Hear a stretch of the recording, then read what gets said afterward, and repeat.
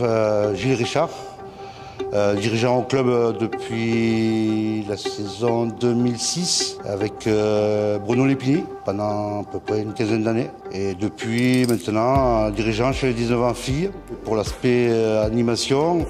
Presque plus de 10 ans que je fais le protocole avant-match et surtout au départ le protocole avec les enfants. Et, après le Covid, le protocole, l'autre protocole avec la bâche et les drapeaux. Alors depuis euh, deux ans, pratiquement, il y a Giorgio qui, nous a rejoint. Je fais partie du protocole euh, du stade d'Amonçon euh, pour les jours de match où on s'occupe des enfants qui participent au protocole d'avant-match, aux animations. Donc il y a plusieurs choses. Il y a la bâche au rang central, il y a 14, en- 14 enfants, il y a 8 drapeaux, euh, il y a 11 enfants qui rentrent avec la, la tête des joueurs pour la compétition d'équipe. Il y a 23 enfants qui rentrent euh, avec les joueurs. Et après, il y a les ramasseurs de balles aussi. Ça fait beaucoup d'enfants. Du coup, avec euh, le staff, on y est euh, deux heures et demie avant le coup d'envoi pour préparer les vestiaires. Puis recevoir les, enfants devant le stade pour les briefer, leur dire les consignes, consignes globales, plus de, beaucoup plus de sécurité. D'abord, la- l'accueil est très important, donc on remercie de leur venue pour euh, euh, et de montrer aux gamins que euh, de s'investir, même s'ils ne sont pas du club, de bien les accueillir pour qu'ils mettent les couleurs de Montpellier pour euh, animer. Et surtout pour leur, leur apporter un, un souvenir qui, à cet âge-là, est important. quoi. Non, on fait, déjà, on fait venir les, les clubs partenaires. Sébastien a établi un, un calendrier. Donc ça fait que le prochain match, ça sera euh, le club de Rodez qui, euh, qui viendra et qui représentera avec nos couleurs euh, Montpellier. Euh, déjà, Seb, il prend contact avec le club pour leur envoyer les nombres de joueurs exactement. Il y en a 73, si je ne dis pas de bêtises, par rencontre à, inscrire. Donc des fois, on coupe la poire en deux ou en trois suivant les groupes. Par exemple, on va prendre 11 qui font la composition pour un club de, de l'Hérault ou ailleurs. Puis les ramasseurs, c'est un autre club parce que chaque euh, tâche que font les enfants, c'est un âge différent. Les escortes, c'est des U8, U10, donc c'est 7, 7 9 ans. Euh, les ramasseurs, c'est obligatoirement qu'ils ont entre 14 et 16 ans. Euh, après, les drapeaux, la bâche, ne pas prendre trop petit parce que c'est assez lourd. Et on a peur que les gamins se perdent euh, dans la confusion euh, sur le match. Du coup, c'est à peu près vers, les 13 ans que euh, c'est plus un âge rookie pour revenir. Enfin, il doit avoir une taille assez costaud pour euh, amener la vache et repartir vers la vache parce que voilà, c'est- il est arrivé un match où je me suis retrouvé avec des gamins qui avaient euh, euh, 10 ans, 9 ans. à la fin, c'est moi qui portais la vache. quoi. Ouais, dans le vestiaire, on a, on a un grand tableau qui explique euh, les rôles de chacun précisément.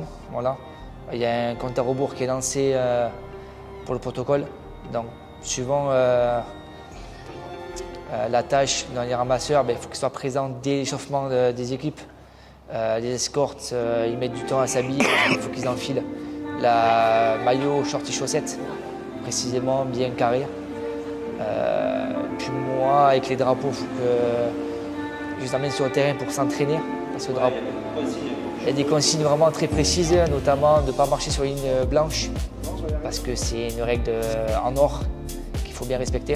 Parce que comme on porte tous des baskets, parce que les crampons sont interdits pour les enfants, même nous aussi, si on marche sur une ligne blanche, du coup, euh, on peut Faire des traces. faire des traces blanches sur la pelouse. Et après, vu de la télé, ça peut rendre euh, un peu moche. Et après, comme la pelouse est notée euh, à chaque match, et comme je sais qu'elle a eu un très bon classement depuis des années, donc on essaie de maintenir le cap. Et c'est important pour euh, la publicité en global, euh, plus euh, souligner le bon travail des jardiniers, malgré qu'il y ait euh, un petit problème de champignons en début de saison. Là, on peut vraiment voir, euh, pour avoir les pieds dessus, euh, les sont parfaites et même les enfants, ils font que- qu'en parler parce que ils ont vraiment un souvenir Bah, ils euh, un beau souvenir. inoubliable. Voilà, la rage, euh, être invité déjà, euh, pa- passer le- les premiers portails euh, et avoir le, le KOE du, du club, euh, c'est déjà un beau souvenir. Et après, être sur la pelouse, des fois, il y a des enfants qui sont la bouche ouverte, regardant les tribunes et Exactement, ouais. Surtout, surtout de- à, la, à la fin de, l'animation de la match, plutôt, les joueurs se mettent en place. Ils sont plutôt en train de regarder les joueurs que de se concentrer à porter la bâche euh, jusqu'au bout, quoi, pour la mettre, euh, voilà, pour, la- pour tout, pour tout ranger. Euh, c'est un peu dans l'euphorie de, de l'enceinte de Saddam Hussein. Parce que c'est vrai, il faut se mettre à leur place, c'est en prendre euh, plein les yeux, euh, alors que nous, ben, ça devient banal, maintenant. Oui, c'est- Mais leur- eux, c'est sur une image euh, dans les tribunes. Alors que là, on passe euh, dans les travées, dans, dans une salle et sur la pelouse. ça pleut. ouais. C'est un moment marquant. Voilà, donc, euh, J'ai eu tellement de belles choses au club euh, dans- pendant les matchs. euh, souvenir de d'être champion de France en 2012, euh, il y a toujours ce souvenir de cette image d'être sur le terrain et, et de participer. En plus, ce jour-là, j'ai participé au, au contrôle antidopage, d'être au milieu de tout ça. c'est toujours, ça reste un beau souvenir. Quoi. Euh, c'est vrai que l'année dernière, j'ai pris beaucoup de plaisir parce que voir des joueurs de, en vrai et pas derrière un écran, voir le- la taille qu'ils ont des fois de, de grandeur, comme des gardiens, comme les dernières Donnarumma qui, qui prenaient une, euh, une envergure énorme dans les buts. Ça fait bizarre de les voir de vrai. et, voilà, c'est quand même un rêve de gosse. Voilà, tout le monde aimerait être à ma place sur le terrain.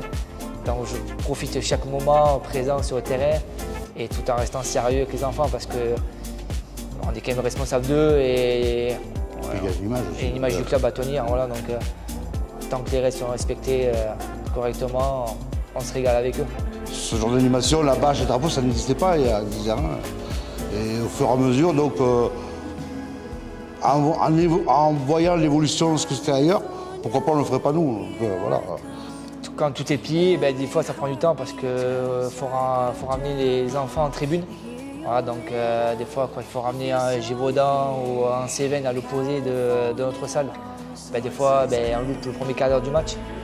Et des fois il faut ranger tout le vestiaire, euh, ranger tous les kawaii, les, les crèdes et ranger tout le vestiaire pour euh, on arrive, c'est propre, on repart, c'est propre. Et après, oui, supporter numéro un sur, au bord du terrain. Et, le premier euh, quand, une décision ou quoi arbitrale qui ne nous va pas, mais bon, on vit les moments présents avec les joueurs aussi. C'est voilà, même si on ne leur parle pas pendant le match, au moins on est, on est près d'eux et de chaque action qui, mène à la victoire. Ah, ben oui, de toute façon, euh, Pagadin, euh, ça fait longtemps que je suis pas euh, supporter à Montpellier depuis, depuis ma tendre enfance, donc euh, ça reste toujours la motivation d'être toujours derrière le club selon les résultats, quand il y a les hauts et les bas. Donc, et, même la motivation, moi en tant que dirigeant, au niveau des équipes avec qui je suis. Donc, N'importe laquelle, j'étais en la formation et maintenant avec les filles. La, motivation reste toujours la même. Allez la paillade